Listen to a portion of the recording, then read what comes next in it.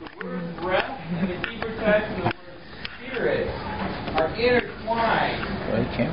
It's the breath of God that first gave life. I made my own video. Adam. Yep. Scripture says in Genesis that, that God formed out of clay and he breathed life into it. In the book of Ezekiel, he has this powerful image of a valley filled with all kinds of dried out bones and God asks Ezekiel the question, Can these bones live? And Ezekiel says, Only you know, Lord. It's up to you, in other words. It's in your hands. You are the giver of life. And the wind, the air, the breath is gone across them. And in this image, they regain life. It's symbolic of those who are spiritually dead. And God breathes life into them. Elsewhere, we see the, that uh, Jesus breathed on the people and they regained their life. The Spirit filled them. And in the Psalms it says, Let everything that has breath praise the Lord. In a very powerful way, you can consider every breath you take as a way to acknowledge God. When we slow down and just remember and think of that air coming in and going out, we can thank the Lord for life. We can praise Him for it. The life and the Spirit of God is within us. And it gives us the means to live, not just here, but also in eternity we trust in Jesus Christ. That's what it means. Thank you.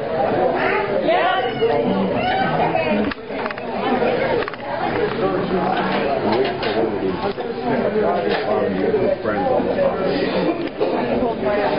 Right, meet daughter, you know, I talk to them. They go to sit right at top of the grass. Pick her up. Before the children, mom and dad is dead, you got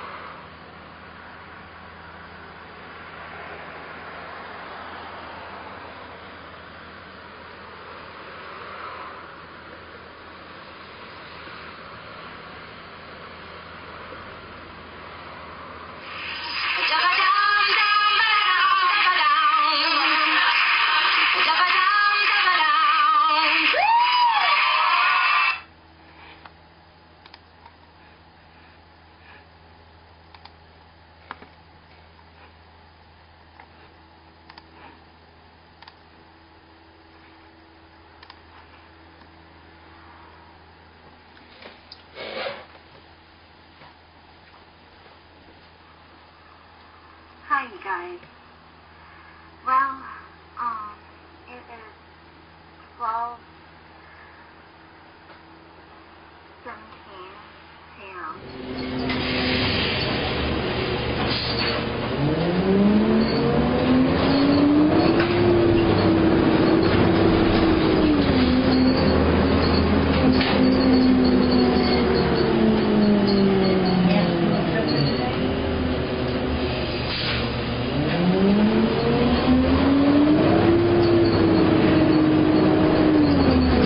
You know, like somebody said, they hire these three people, and they get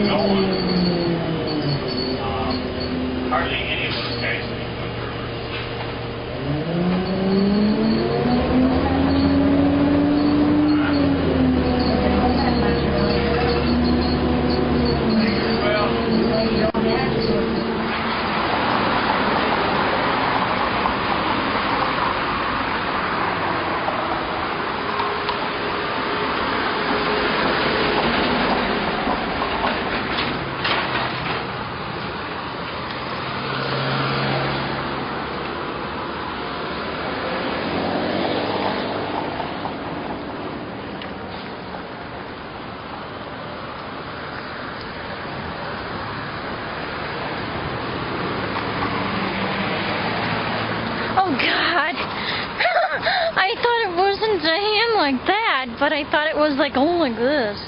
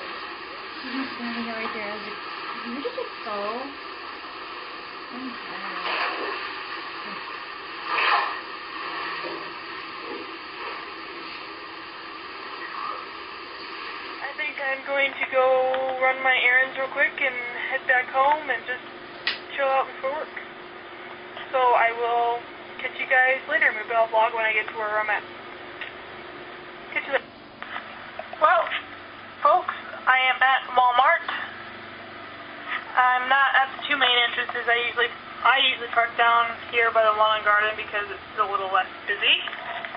But yeah, I am at Walmart now. I'm gonna go in and do my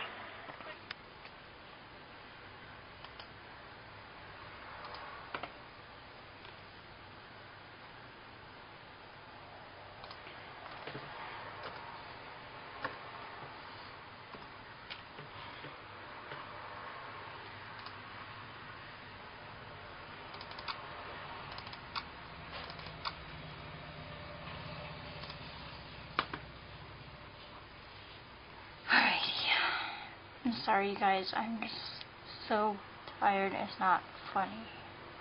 If I'm not better by tomorrow, tomorrow I'm gonna call my doctor and ask to be checked in or something because this is not okay for me to be this tired after I wake up. Uh-uh. I don't think it's officially okay for me to be this tired. Seriously.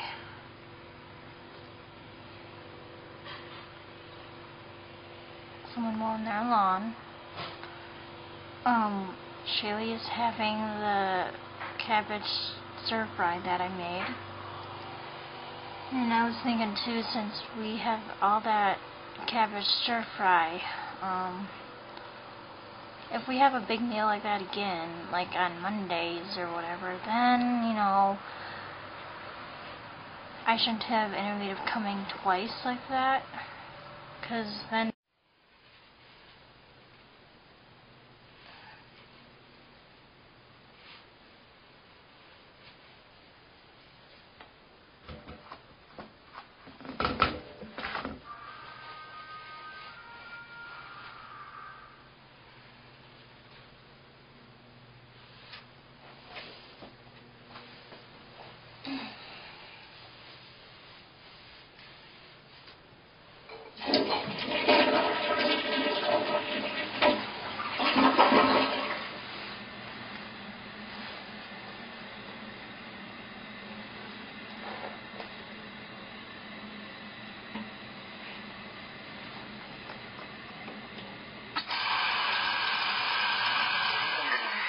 My fake body.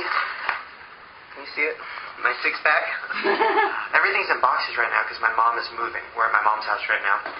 Um, in this closet, I have all my character wigs and stuff, and my character costumes. Uh oh. Spoiler alert: my characters aren't real. They're just costumes. Um, and then yeah, here is my prop bucket with some alcohol and uh, crazy stuff, balloons, and a bunch of stupid makeup that I like to smear all over my face and get herpes from. Yeah, I, I used that. Some kind of a long-lasting lipstick, and that's kind of one of the reasons I had that sore on my face. Well, that's my explanation. Um, a Shane wig.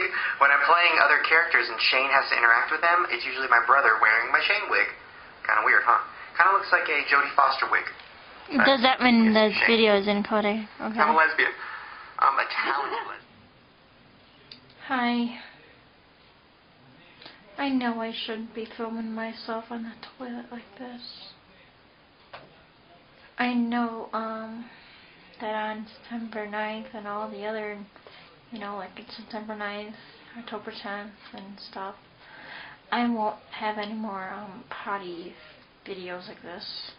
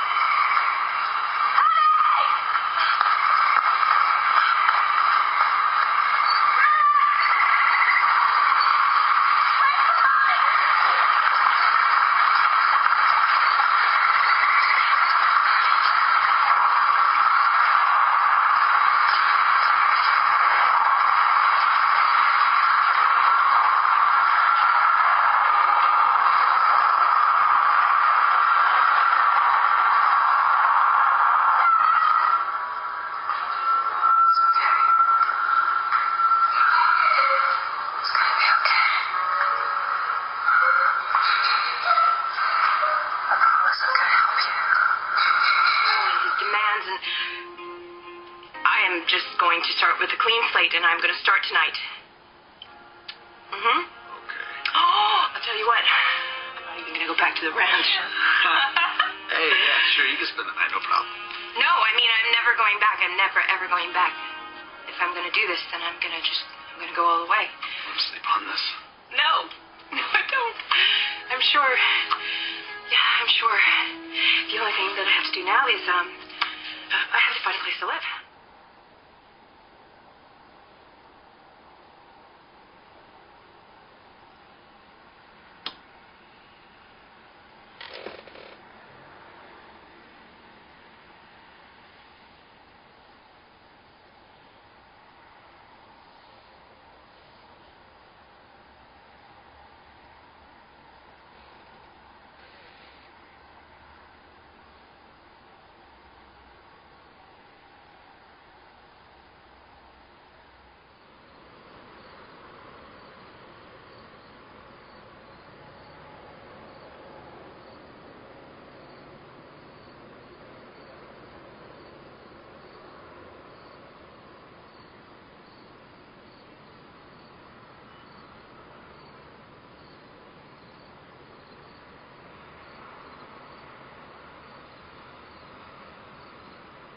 Five.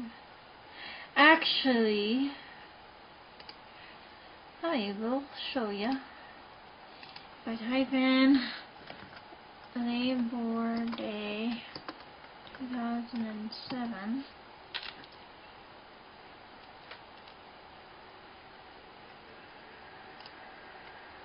There it is. But I will show you something, guys show you how long this baby is. An hour and 43 minutes and 44 seconds. September 2nd, 2007, Nornna's Labor Day. 2000